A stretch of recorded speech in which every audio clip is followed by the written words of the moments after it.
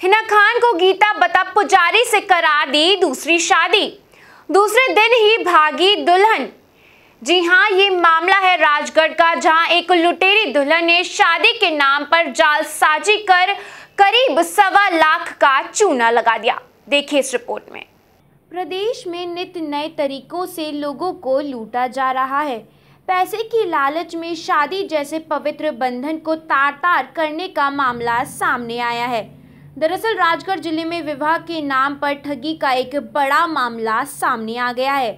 Police की जानकारी के अनुसार राजगढ़ ज़िले के खिलचीपुर में एक दलाल ने सवा लाख रुपए लेकर एक पूर्व शादीशुदा मुस्लिम महिला को हिंदू बताकर उसकी शादी खिलचीपुर के गादिया कला गाँव के एक पुजारी से कर दी। यही नहीं जब मामला उजागर हुआ तो महिला ने हंगामा मचाना शुरू कर दिया। वहीं पुलिस ने पूरे मामले की जानकारी लेते हुए महिला को गिरफ़्तार कर 420 के तहत मामला दर्ज कर गिरफ़्तार कर लिया। ये अशोक शर्मा नाम का एक व्यक्ति है अपने खिलचीपुर थाने में उसका गाँव पड़ता है गादिया कला। उससे उस वाले क्षेत्र का एक गाँव है, मालीपुरा, वहाँ का नारायण सिंह सोदिया है उसने और ये जो महिला है पकड़ी गई इन दोनों ने मिलकर उससे सवा लाख रुपये लिए थे।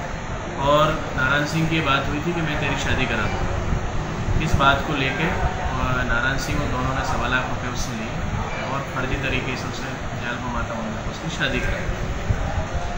महिला ने पहले अपना नाम गीता बताया था और शादी होने के बाद जो भागने लगी।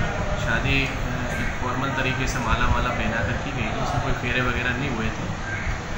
बाद में फिर महिला भाग कर जाने लगी और पकड़ लिया उससे पूछताछ करी तो उस लोगों उसने फिर अपना गीता नाम के बारे में बताया कि मेरा नाम गीता नहीं है और मेरा नाम हिना खान है।